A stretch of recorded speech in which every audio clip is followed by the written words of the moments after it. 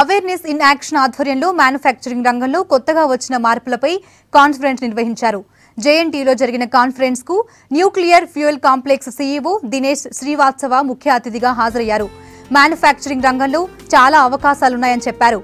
Manufacturing రంగంలో పెట్టుబడులు పెరుగుతున్నాయన్నారు.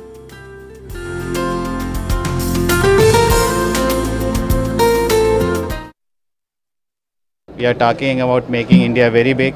And making everything in India.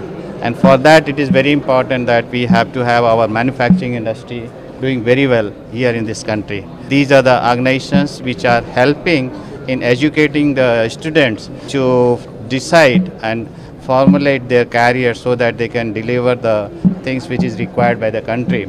Uh, I was very happy to be here and I'm uh, sure that uh, whatever the talk has been arranged, this will be very informative and very useful.